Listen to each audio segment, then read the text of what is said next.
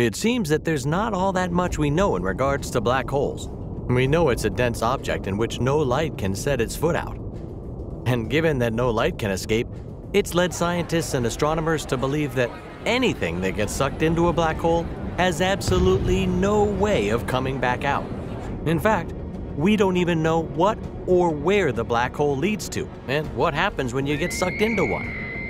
We've made educational guesses and studied them since first discovering them more than a millennial ago in 1916. Still, we don't know all that much about this dark cosmic vacuum and have spent the majority of our research trying to understand what happens to things around black holes right until they vanish into thin air. Or should we say thin vacuum? There isn't any air present in space, right?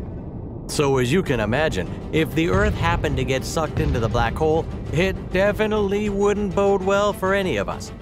So today, on our channel, we have the question. Let's assume the Earth gets sucked into a black hole. So fasten your seatbelts and get subscribed, and let's travel into another ride to outer space.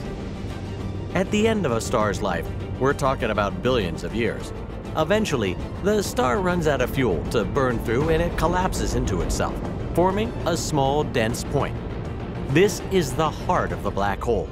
This is where the unknown happens. What we do know is that at the heart of the black hole, it's incredibly dense, and the strength of the black hole depends on what kind of black hole we're talking about. First, the smaller black holes are the stellar mass black holes, and have a mass 10 times the size of the Sun. Then there are the supermassive black holes, which we don't know all that much about, aside from the fact that they're found at the center of galaxies and have a mass that can weigh millions or even billions the weight of the Sun. The Earth entering a black hole would be terrible news, and how quickly things got destroyed would be determined on the size of the black hole. But if Earth entered a stellar mass black hole or a supermassive one, I think it's safe to say we'd all die. As previously mentioned, we don't know that much about black holes. From a scientific standpoint, the scientific term is spaghettification. What happens when something enters a black hole is exactly that. Things get compressed horizontally while simultaneously being stretched vertically, making the object appear to look like spaghetti. So it seems as if the Earth entered a black hole, things would slowly start to get stretched and compressed at the same time.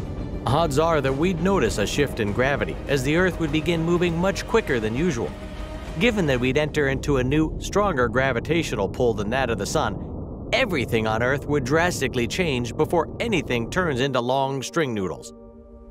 For example, there wouldn't be much sunlight, if any at all, and there'd be no concept of waves or tides in the sea because the moon no longer appears either.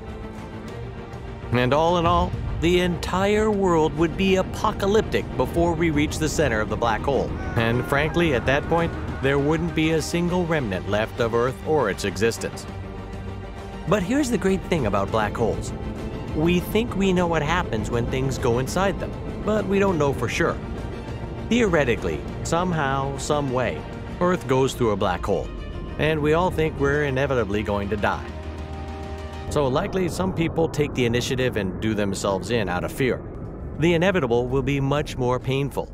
But for those of us who somehow find a way to survive, we find out what's on the other end of a black hole. Assuming it's not death and destruction, maybe it's an alternative reality. Perhaps we get thrown into a new universe or galaxy where things are similar, or maybe they're entirely different. There's so much unknown about it that all we can do is speculate. But for a more scientific explanation, I'm going to quote Alberto Diaz, a particle physics student from the University of Warsaw. This is where we get very tricky and bizarre. From our perspective, nothing would happen at the beginning since we'll be falling very slowly, just like we're ever so slightly falling into the sun. But currently, as we get closer to the black hole, the tidal forces would be so great that Earth would no longer stay in one piece and separate into smaller chunks, kind of like asteroids falling into the black hole. This happens because the difference in gravitational attractions between different parts of Earth would be much greater than the forces keeping it together. Now, as always, guys, let me know your thoughts on this one in the comments down below.